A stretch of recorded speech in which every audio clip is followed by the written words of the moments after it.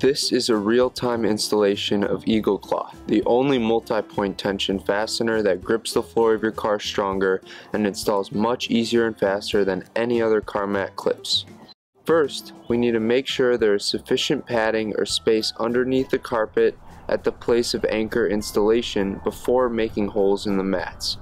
To do this, knock on different spots with the hammer, its handle, or another hard object.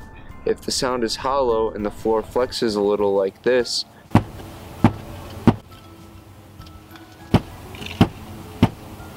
it'll work. If the sound is solid like this,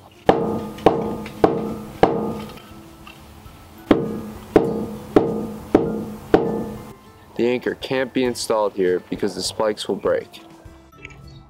If your car mat doesn't have holes or pre-installed grommets, turn the mat upside down and using the hole cutter, make two holes in the back corners of the mat, each about 2 inches from both edges or where the anchors will meet the flat portion of the floor that has sufficient padding. Remove one of the nibs if the mat has them to make room for the sliding washer. If you want to, you can use a hammer and wood block. You don't have to make new holes if your car mat already has pre-installed grommets.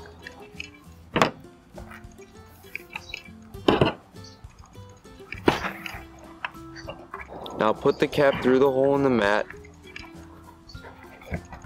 and push the sliding washer chamfered side up past the threaded portion of the cap post. Screw the cap into the anchor until the end of the cap post is even with the bottom of the anchor. Now do the same thing on the other corner.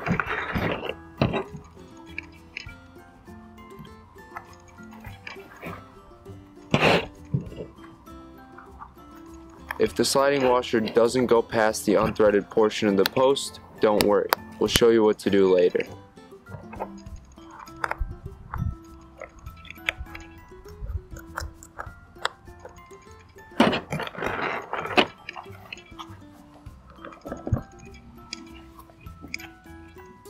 Make sure that the car floor is flat and dry for proper anchor installation.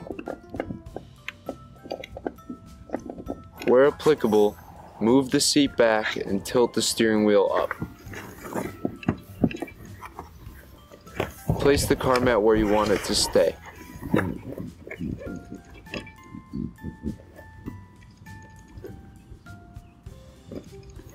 While seated, center your heel over the cap and stomp down on it several times as vertically as possible with enough force for the anchor spikes to penetrate the carpet. Don't step on or hit the cap on an angle to avoid breaking the anchor spikes.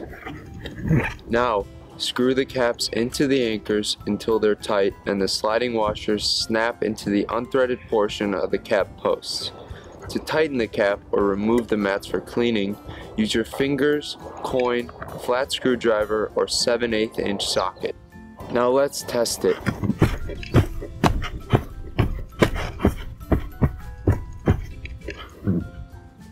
Let's check what happened.